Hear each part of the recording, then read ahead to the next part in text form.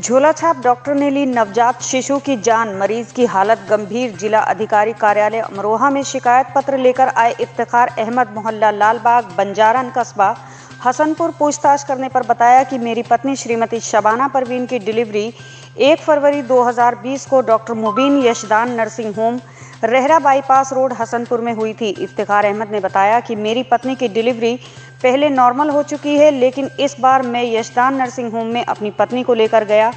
तो डॉक्टर मुबीन ने कहा कि ऑपरेशन होगा और डॉक्टर ने संभल से झोला छाप डॉक्टर नेकराम को बुलाकर मात्र 10 मिनट में ही मेरी पत्नी का ऑपरेशन लापरवाही से कर दिया, जिससे मेरे बच्चे की जान चली गई और मुझसे पचपन हज़ार रूपए ले लिए। और मेरी पत्नी की हालत भी ठीक नहीं है। फिर मैंने यशदान नर्सिंग होम से पेपर फ़ाइल मांगी तो फ़ाइल देने से मना कर दिया और कहा कि मैं सीएमओ कार्यालय में पैसा देता हूँ, मेरा कुछ नहीं होगा।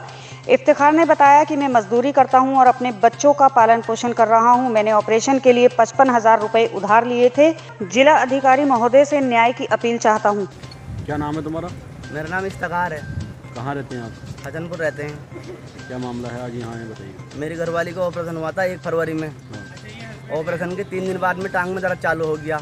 मैंने डॉक्टर से बोला डॉक्टर साहब हमारी घरवाली की टांग में दर्द है। डॉक्टर साहब ने बोला कि टांग में दर्द दर्द है तो हम क्या कर सकते हैं? हमने ऑपरेशन पेट का करा टांग का थोड़े ना करा है। हम क्या कर सकते हैं? डॉक्टर साहब अस्पताल कौन सा है वो? Yashdan hospital Hasanpur Rahara bypass. अच्छा। डॉक्टर मोबिन। किस चीज़ से किस चीज़ का ऑपरेशन हुआ था? डिलीवरी हुई थी बड़े ऑपरेशन से लड़की पैदा हुई थी तीन दिन के बाद वो लड़की भी ख़त्म हो गई। चलो हम लड़की की शिकायत भी नहीं करते वो तो अल्लाह के हाथ में देनी ना देनी। लेकिन दर्द जो है हॉस्पिटल से चालू हुआ ऑपरेशन के तीन दिन बाद में। जब हमारी छुट्टी कर दी हॉस्पिटल से सात दिन में जब भी दर्द चालू था। मैंने घर पहुँच के फिर भी घर से लौट कर आया फिर भी मैंने ये कहा तीन बार मैं शिकायत लेकर पहुँचा मेरी घरवाली के टांग में दर्द है तो धोखे में रखा कि इलाज कराऊँगा कराऊँगा। डेढ़ महीना हमें धोखे में रखा फिर मजबूरन हमें यहाँ डीएम साहब के वहाँ आना पड़ा हम रोहा।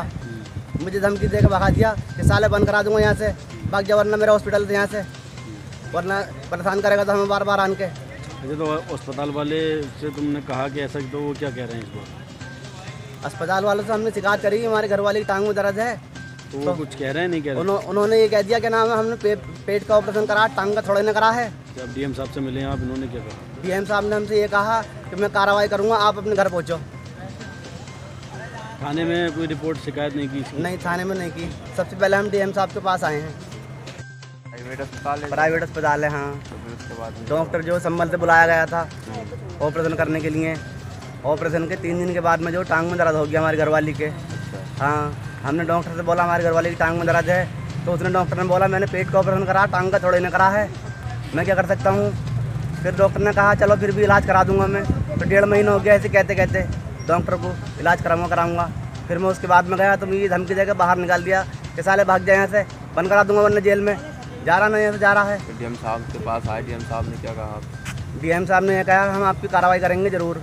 आप अपने घर पहुँचो। क्या नाम है इनका? इनका नाम सबाना है मेरी घरवाली का। आपका नाम?